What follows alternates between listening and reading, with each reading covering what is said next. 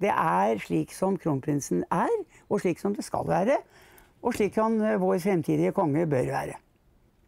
Og før kronprinsen takker for seg, vil han skryte litt tilbake og spille av en sang som er laget av en av de mange som har latt seg inspirere av landsmoderen. Den heter Gro Harlem Brundtland.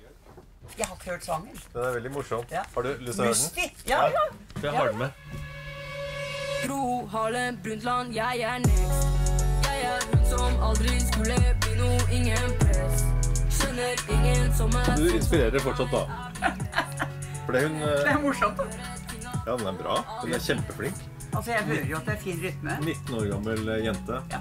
Musti. Ja. For hun har laget sangen der. Så det hun sier, er at uh, Gro Harlem Brundtland, jeg er next. Altså jeg som kanskje ikke folk trodde skulle få Kunne til. bli Ja. Jeg kan få til. Ja, Jeg kan Ja, glemmer. Ja, veldig bra.